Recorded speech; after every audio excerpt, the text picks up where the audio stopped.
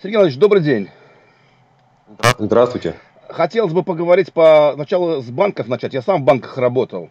Вот вы не раз уже говорили в своей передаче авторской, блогах на Эхо Москвы, что э, то, что Центробанк делает ради спасения крупных банков, это афера банковской системы. Или крупная афера, не помню. А к чему это может привести в долгосрочной перспективе? А, Андрей, смотрите, я говорил о том, что это афера в исполнении Центрального банка. Да, то есть давайте все-таки разделять аферы людей, работающих в Центральном банке, да, и там афера в банковской системе, потому что ну, это немножечко другое. Мне кажется, что как раз вот э, вещи, они не совсем одно и то же. А смысл, смысл моего выражения состоит в следующем. А, Центральный банк – это орган, помимо всего, орган денежной политики, орган организации расчетов Российской Федерации денежных, а также орган, отвечающий за банковский надзор. Вот это по закону, по конституции, он должен заниматься тем, чтобы банковская система была устойчивой, чтобы банки не воровали деньги клиентов, да, и чтобы мы могли им доверять. Вот, собственно, это задача Центрального банка. А теперь начинает выясняться, что Центральный банк не, сполня, не справляется с этой функцией. Ну, собственно, не только сейчас, да, это мы наблюдаем, я думаю, так по-хорошему с э, того момента, как э, кризис 2008 года случился, когда банки начали рушиться в большом количестве. 10 лет наблюдаем. Вот. И э, после этого Центральный банк вместе с правительством, вместе с агентством по страхованию вкладов принимают сомнительные решения, на мой взгляд, более чем сомнительные решения об э, санации банков, которые фактически рухнули. Вот за 10 лет банков, которые подвергаются санации, их уже больше трех десятков, при этом ни один из них, ни один из них не встал на ноги. Да? То есть вот труп оживить никому не удалось. Сколько бы нам обещаний не звучало, сколько бы нам чего не говорили, сколько бы там десятков или даже сотен миллиардов рублей не выделялось, вот, собственно говоря, ничего не происходит. Труп оживить нельзя. Вот. Но Центральный банк продолжает таким маниакальным упорством настаивать на этой процедуре. А, более того, более того, мне кажется, что вот э, э, последнее решение о создании фонда консолидации банковского сектора, так называемого, да, то есть Центральный банк теперь вообще все забрал себе. Он сам следит, якобы выполняет функции надзора, не выполняет их. После этого принимает решение об отзыве лицензии, ну или об введении временной администрации, точнее говоря, отдает банк фонд консолидации и принимает решение о выделении неограниченного количества денег на то, чтобы оживлять очередной труп. Да? То есть вот э, и разбора полетов, по большому счету, то есть понимание, а, ребята, а проблема-то в чем? Да, вот как, как в Кемерово. Проблема же не в том, что там случился пожар. Пожары случаются. Да, проблема в том, что людей не спасли. И то же самое в банковской системе. Ну да, бывает, конечно, там в развивающихся экономиках банки рушатся. Но анализом причин, почему рушатся банки, да, и там где воровство, а где отсутствие банковского надзора, вот этой работы над ошибками не происходит. Вот. И, соответственно, Центральный банк абсолютно полностью выведен из-под контроля, он э, вот, тратит неограниченные деньги, и ну, вот уже сегодня, уже сегодня фактически в руках государства находится там, более 73%, если по активам мерить, банковской системы. Ну, по большому счету это означает, что все остальные банки медленно должны умирать. Ну, потому что государственные банки, они пользуются неконкурентным преимуществом, они могут э, работать как угодно. плохо, и мы видим на практике, что ежегодно э, в федеральном бюджете есть деньги на выделение поддержки то одному банку, то другому банку, то третьему банку, то им всем вместе взятым.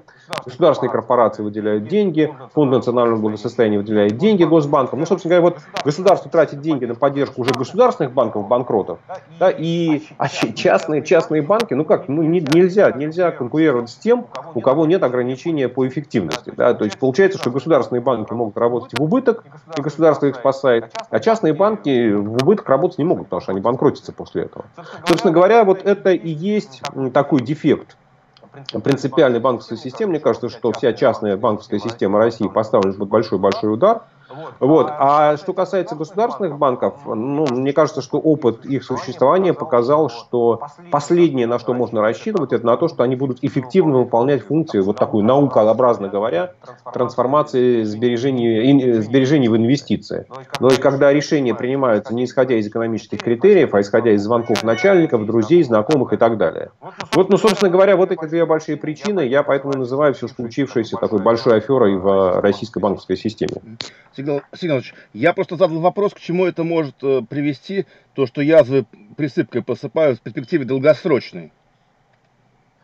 Ну, смотрите, э, вот понимаете, как все, все, все, о чем мы говорим, все, вот там неработающая банковская система приводит к тому, что объем инвестиций в экономике снижаются, что и инвестиции распределяются неэффективно. Это означает, что темпы роста экономики будут ниже потенциала. Ну, то есть, да, экономика, как, это, это еще одно лыко в строку о том, что экономика не может быстро расти.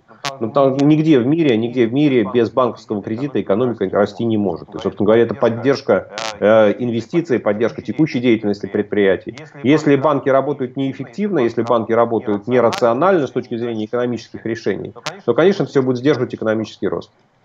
Да, мне даже обидно. Вот есть симпатичные банки для меня, например, «Зенит», но они явно не в такое положение поставлены конкурентное абсолютно.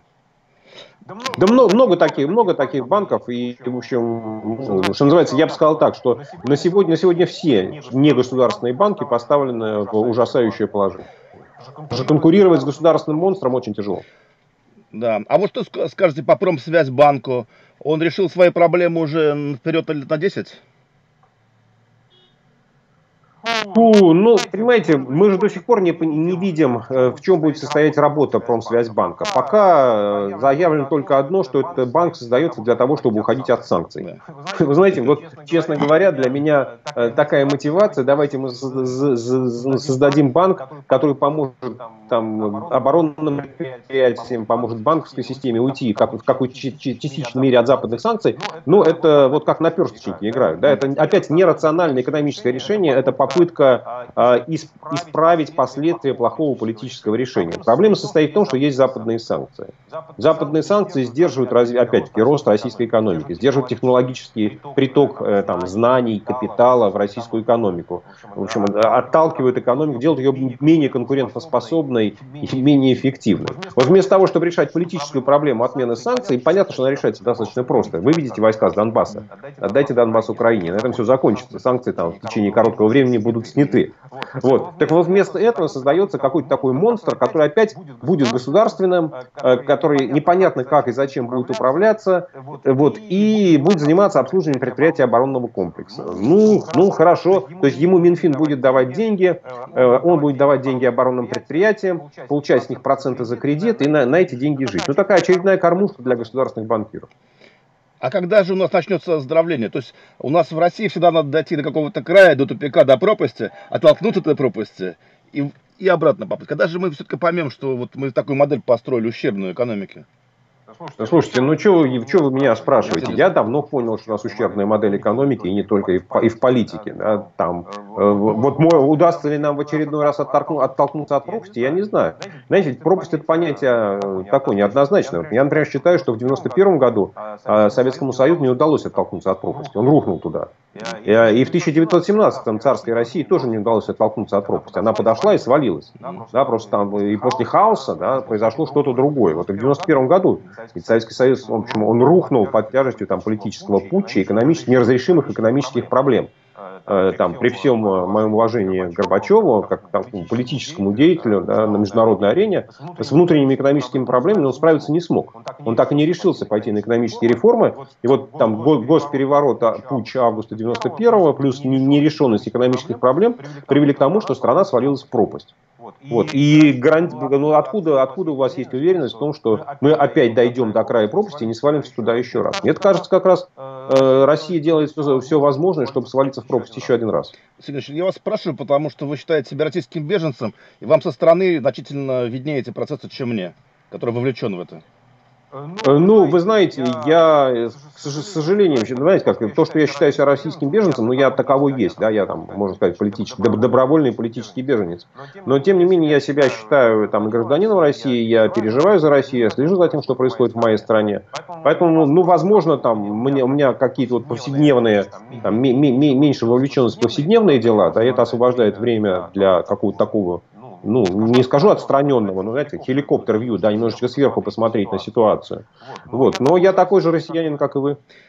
Вот вы сказали, что главные риски для, для нашей экономики, ну наши, наши с вами, да, это мировая рецессия, ужесточение санкций. А некоторые эксперты, с которыми я уже провел интервью, говорят, что сейчас будет попытка примирения с Западом, э, не с Западом, с Евросоюзом, э, в связи с тем, что новые политики приходят э, в Евросоюз. И даже санкции могут смягчиться в этом году, в конце. Вы знаете, про смягчение санкций я слышу уже 4 года, с тех пор, как они введены. И про раскол в Евросоюзе тоже слышу давно, и про неминуемый крах доллара слышу уже лет 10, что он вот-вот рухнет. Я вынужден разочаровать этих экспертов, и мне кажется, что ситуация идет как раз совершенно в обратную сторону, потому что приход, например, во Франции президента Макрона привел к ужесточению такой позиции Франции в отношениях с Россией. Приход в Германии новой коалиции, которая, казалось бы, слабая, которая ослабляет канцлера Меркель, но там пришел министр иностранных дел, который бывший министр юстиции, совершенно незнакомый человек, и он занял намного более жесткую позицию по отношению к России. Он сразу сказал, что главная проблема с Россией то, что она не хочет соблюдать э, как, верховенство права, да, то есть она не, не, не соблюдает принципы правовой системы. И мы, мы этому будем противостоять. То есть этот предыдущий министр иностранных дел Германии, он как раз там Зигарь Габриевич, да, по-моему, так его звали, вот он как раз был таким достаточно пророссийским, все время говорил, ну давайте искать компромиссы, давайте, может быть, смягчим санкции, давайте поэтапно что-то сделать. Вот новый министр иностранных дел Германии, он как раз занял гораздо более жесткую позицию. Ну, а, собственно говоря, вот последнее событие, то, что мы наблюдаем буквально на днях, когда вот эта массовая высылка э, российских дипломатов. из 25 стран, ну, слушайте, какое, какое здесь смягчение санкций? Это, мне кажется, люди живут в какой-то э, иллюзорной нереальности. Да? Они создают свою картину мира и пытаются объяснить, что сейчас Евросоюз расколется и начнет обниматься с Россией. Ничего подобного. Все, все идет прямо в противоположную сторону. Даже президент Трамп, который там и Путину позвонил, вроде как поздравил его, да, и тем не менее вышло 60 э, российских дипломатов. Такой абсолютно. Мне кажется, что как раз вот э, ситуация, она качественно меняется. Знаете, вот бывает так, известный закон переход количества в качество. И мне кажется, что как раз вот то, что мы видим сейчас, это изменение качественного отношения к России. Это уже не количество.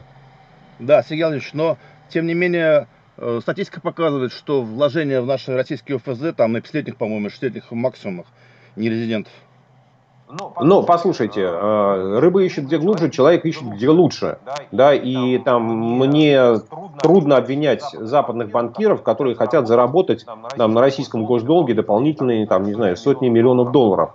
А это, э, эта операция финансовая не попадает под санкции. Благодаря таким мудрым в кавычках действиям Центрального банка процентная ставка в России реально держится на супервысоком уровне. Высокие цены на нефть фактически гарантируют стабильность курса рубля к доллару. Ну вот, ну где, где еще на краткосрочных операциях западные инвесторы могут заработать, не знаю, там 7-8% годовых, да, с учетом ну, там э, левериджа там, еще больше. Ну, мне, как, почему, почему их должны обвинять? Но это, это совершенно, совершенно не отражает позицию государства, потому что, смотрите, там заявление премьер-министра э, Великобритании Терезы Мэй, да, о том, что она прямо поставила вопрос о запрете клиринговым системам, международным клиринговым, европейским клиринговым системам работать с российским госдолгом. То есть вот э, достаточно одного такого решения, которое будет принято в Великобритании, и, собственно говоря, после этого на операциях нерезидентов на рынке ОФЗ можно будет поставить точку. Сергей Владимирович, когда я ехал на это интервью, мне сказали, ты вот берешь интервью, но сейчас Сергей Владимирович не только э, экономист, но и уже стал немножко политиком, это правильно? Э, ну, не, нет, наверное. Я думаю, что критерий политика – это человек, который э, ну, участвует в политической жизни, то есть э, стремится выиграть выборы. Я не вижу себя участником выборной кампании. У меня никогда не было цели участвовать в выборах, а тем более побеждать на них. Ну, то есть участвовать ради победы, если вы участвуете, нужно ради победы, у меня такой цели никогда не было. Поэтому, наверное, все-таки вот в этой в этой системе координат я не политик. Вот не могу не спросить вас, что вы подум... что... о чем вы подумали, когда смотрели выступление Путина перед федеральным собранием месяц назад и про новые образцы вооружения. То есть это некий месседж, что мы преодолели э, блокаду Запада технологическую, да, и мы можем зарабатывать э, без подпитки извне новые вооружения. Нет, мне такая мысль в голову не пришла. А, мне пришла совершенно другая мысль о том, что мы видим перед собой Ким Чен Ына а, несколько более другого масштаба. Вот знаете, вот это выражение верхняя вольта с ядерными ракетами, вот мы такая Северная Корея с большим количеством ядерных ракет, которые готовы размахивать дубинкой ядерной и угрожать всему миру. Но, собственно говоря, вспомните, э, после начала, в середине 2014 года, когда были введены западные санкции, некоторые российские дипломаты начали, там, политкомментаторы на телевидении, на федеральных каналах угрожать ядерным пеплом, там перенацелить ядерные ракеты на Данию, еще что-то такое было. Вот, но, собственно говоря, когда до этого доходит президент э, страны, ну, здесь, честно говоря, уже становится немножечко страшно, потому что речь идет о психическом здоровье, о психическом здоровье нации и конкретного человека. А насколько Запад э, это все воспринимает? Он воспринимает это как мультики 7-летней давности, либо воспринимает все очень серьезно?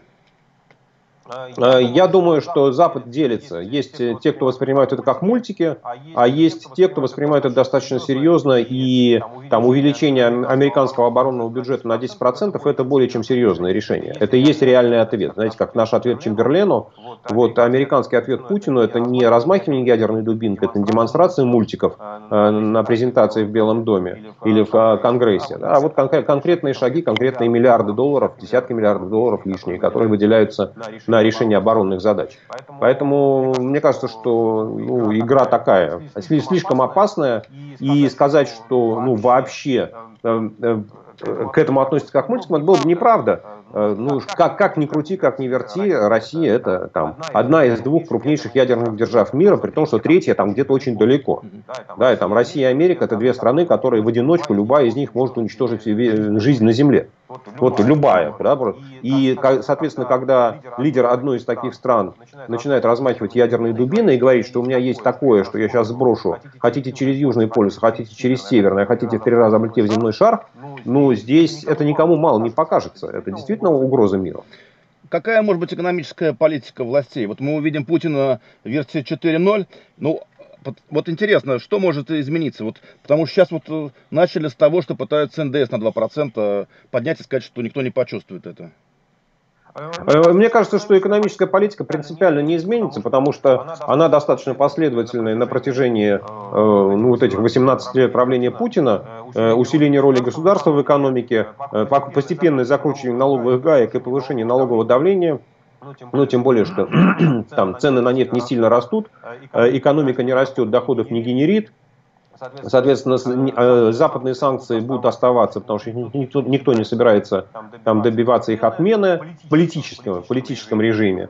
Вот, соответственно, э, там инвестиций не будет, экономика будет расти медленно. Экономика растет медленно, медленно растут налоговые доходы. Медленно растут налоговые доходы, у бюджета ограничения по финансированию своих обязательств. Поэтому будут повышаться налоги. Меня как работ... Поверить, последнее, да, последнее очень важное, то, что э, вот все разговоры о, там, о справедливом суде, о верховенстве права, об очередной судебной реформе, они, конечно, будут разбиваться о неспособности Кремля пойти на политические реформы. Потому что не может быть независимого суда при отсутствии политической конкуренции. Да, не может быть э, независимого суда при отсутствии свободных средств массовой информации. Там, при, при, без свободного суда не может быть э, не знаю, там, борьбы с коррупцией. Все это дело будет там разъедать и так не очень большие ресурсы российской экономики. Поэтому мне кажется, что вот экономическая политика, она, ну, а по большому счету, а в чем она состояла там на протяжении последних 10 лет? Да ни в чем. Ну, просто какие-то ситуативные решения. Сегодня деньги выделить туда, завтра выделить деньги сюда. Случился кризис, там, перераспределили бюджет. Кризис прошел, там, нарастили бюджет. Там цена на нефть выросла, поменяли бюджетные правила. Цена на нефть упала, поменяли бюджетные правила. Собственно, из э, таких мощных, э, ну, реальных решений, важных решений, наверное, последних 10 лет, ну, ну, можно назвать только одно, это переход к плавающему курсу рубля.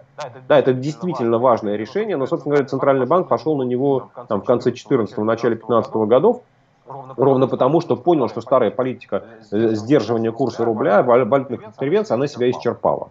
Да, что все, больше, больше невозможно, невозможно удерживать курс рубля, потому что масштабы влияния внешних, внешнего фактора становятся запредельно большими. Вот, а так никаких же особых решений не принималось, ну так оно и будет. Да. Сказать, что я ожидаю государственной экономики такого тотального и возврата к советской плановой системе, нет, не будет. Сказать, что я ожидаю замораживания цен и введения государственной государственных цен. Нет, этого не будет. Сказать, что я ожидаю там реформ каких-то серьезных в э, здравоохранении или образовании, э, которые приведут там, к повышению качества услуг, нет, не ожидаю. Сказать, что я, я верю в то, что правительство найдет решение там, пенсионной реформы там, вот, и объяснит там, не сегодняшним пенсионерам. Пенсионная реформа это не то, как сегодняшним пенсионерам платить пенсию. Пенсионная реформа это объяснить тем, кому сегодня 30 лет, как они будут жить там, через 35 лет, когда они будут получать пенсию, по каким правилам будет начисляться пенсия. Тоже не могу. Поэтому мне кажется, что вот знаете, э, Путин 4.0 по большому счету мало чем будет отличаться от Путина 3.0, 2.0. В общем, примерно то же самое будет все. И заключительный вопрос у меня. Знаете какой? Я как работник цен, рынка ценных бумаг, меня очень интересует, что ждет наш рынок фондовый, ну даже не с точки зрения котировок, а будет ли он развиваться. Либо мы, уже мне тут пишут, что закрываются кафедры цен, ценных бумаг в каких-то институтах, я не знаю, правда это неправда. Либо мы даже дойдем до такой ситуации, как в нацистской Германии, где будут несколько акций торговаться, но это будет чисто формальность. А, ну, я опять, я, я, я затрудняюсь давать такие долгосрочные стратегические прогнозы. Мне кажется, что по большому счету там рынок, рынок ценных бумаг, он не может быть там более развитым, чем э, развитая экономика. Если экономика не растет, то и рынок ценных бумаг не растет. Если у вас есть э, блок на входе иностранного капитала в Россию, то очевидно, что это затрагивает и э, финансовый рынок. Мне кажется, что просто в России было действительно достаточно большое количество учебных заведений, которые готовили якобы специалистов по финансовому рынку, но по большому счету это, вы знаете, э, ну, такая лукавая цифра. Я вспоминаю свою работу в Мэрил Линч, и э, я неоднократно участвовал в наборе сотрудников. Вот однажды я сидел в Лондоне три дня и беседовал с, э, с кандидатами, которые приходили там устраиваться на работу в Мэрил Линч. Вы знаете, я там прослушал, наверное, за три дня человек 50, из них двое были с экономическим образованием, с бизнес-образованием. А остальные были филологи, историки, археологи, физики, математики. То есть вот все, что угодно, а вот уж такого термина, как специалист по финансовому рынку, там точно не было.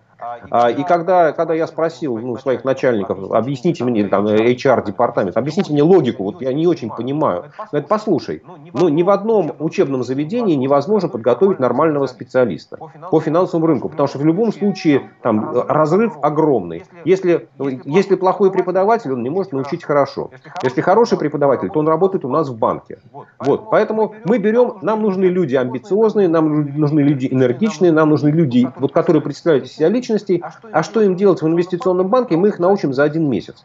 У нас есть курс молодого бойца, специальная программа по обучению вот таких людей, и за 30 дней мы их превращаем в ту рабочую силу, которая нам нужна. Поэтому вот я, честно говоря, не, сильно сожалею о том, что сокращаются факторы, фа, как, кафедры, по подготовке специалистов финансового рынка. А вот, но опять, эти кафедры, ну, они готовили мало кому нужных специалистов. Да, то есть они не готовили специалистов. Они давали бумажку, но при этом люди, люди, конечно же, не были специалистами. Вот. А что касается финансового рынка, опять, но повторюсь, да, нелепо ожидать, что он будет в лучшем состоянии, чем вся российская экономика. Спасибо вам большое за интервью. Мне потребуется немного времени, потом Маша вам ссылочку пришлет. Спасибо. Хорошо, спасибо большое. До свидания. Хорошего дня.